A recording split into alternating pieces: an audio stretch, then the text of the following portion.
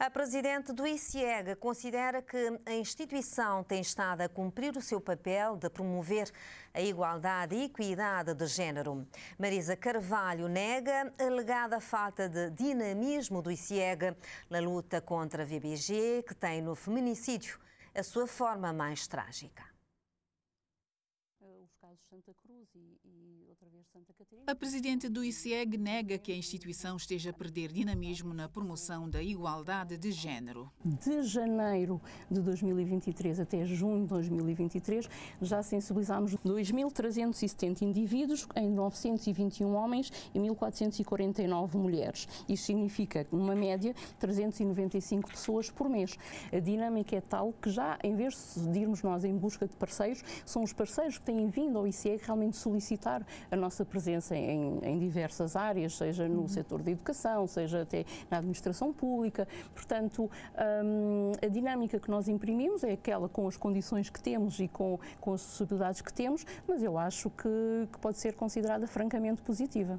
No que tange a ações de sensibilização contra a VBG e outros problemas relacionados com a igualdade e equidade de género, há críticas de que o ICIEG promove ações dirigidas mais às mulheres que aos homens. Marisa Carvalho responde quando as pessoas falam que nós realmente trabalhamos mais com as mulheres, porque as mulheres precisam de mais trabalho, porque elas estiveram remetidas durante muito tempo a um espaço específico que impossibilitou que elas entrassem no mercado de trabalho, na vida política, na vida ativa, nos cargos de direção. Portanto, é normal nós, que nós tratemos as mulheres com mais uh, atenção. Quem... O Ministério da Educação é um dos nossos parceiros e nós temos estado todos os anos, o ano inteiro, a fazer sessões de sensibilização e de até formação de pares com os jovens, um, porque nós também temos dados que indicam que os, os, jovens são muito mais propícios à mudança e são muito mais um, flexíveis uh, em relação a, a, estes assuntos. Então temos estado nas escolas de todo o país um, a fazer ações de sensibilização,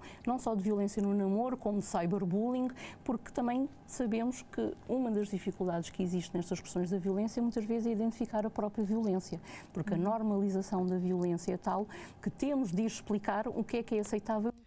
Marisa Carvalho enumera também um conjunto de ações que têm sido desenvolvidas visando a independência económica das vítimas de VBG. Porque nós já vimos e sabemos que as questões da dependência económica potencia questões de violência também, porque há uma dependência e há um controlo que pode originar e que perpetua essas questões de violência.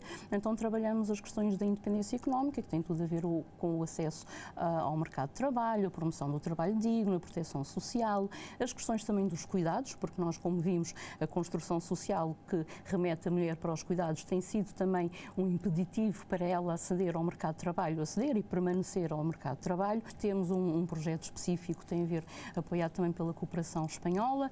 Temos outro, vamos agora ainda este mês lançar um projeto de mentoria específica para vítimas de violência baseada no género, ah, um projeto que se chama Dona Minha Vida, ah, que trabalha exatamente essas questões de promoção da independência um, e da sustentabilidade financeira informa que o Fundo de Apoio à Vítima já foi publicado no Boletim Oficial e vai permitir desenvolver mais ações dirigidas às vítimas da VBG. Fundo esse de 42 mil contos.